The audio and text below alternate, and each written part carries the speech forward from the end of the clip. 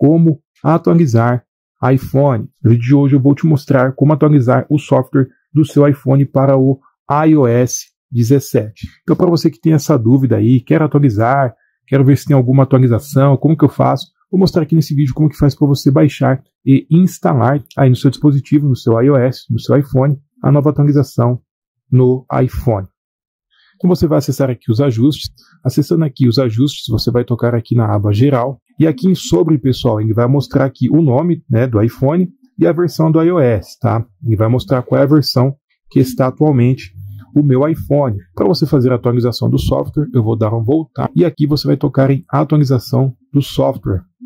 Vai estar buscando a atualização e ele vai fazer a atualização automática aí para você. Caso ele solicite alguma permissão, basta você tocar em ativar e aí ele vai instalar a atualização do iOS no seu dispositivo. Seu dispositivo será atualizado automaticamente para a versão mais recente do iOS.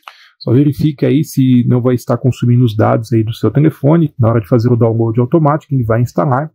E não se esqueça de deixar o seu iPhone carregado para não dar erro. Então é isso, pessoal. Esse é o passo a passo de como atualizar iPhone. Espero que eu tenha ajudado. Se sim, deixe seu like, comenta, compartilha.